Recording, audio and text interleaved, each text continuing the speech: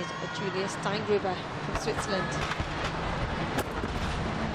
A handspring, one and a half twisting front somersault.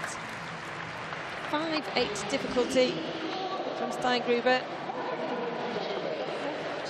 Twice European champion on this apparatus and Olympic bronze medalist on the vault. Drives the heels up into the straight position, wraps in, just a step to the side. The score for her, 14.7, total 53.6.